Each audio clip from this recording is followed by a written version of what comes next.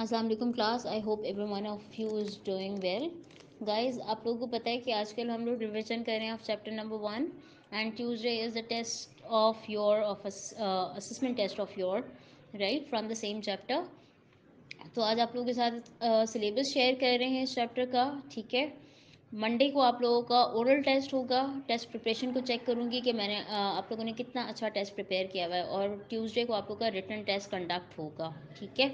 So make sure कि आप लोग इस चैप्टर के जितने भी टॉपिक्स हैं, चाहे वो एक्सरसाइज से हैं सेल्फ असेसमेंट से हैं या एग्ज़ाम्पल से हैं, आपने उन सबसे रिलेवेंट न्यूमेरिकल्स को या मैथमेटिकल कैलकुलेशंस को आप लोगों ने प्रैक्टिस करना है, ठीक है? और जो टर्म्स हैं वो आप लोगों ने याद करना है। मंडे को मैं फिर से कह रही हूँ कि आप लोगों की मैं टेस्ट प्रिपरेशन को चेक करूँगी राइट और ट्यूसडे को आप लोगों का रिटर्न टेस्ट कंडक्ट होगा। Thank you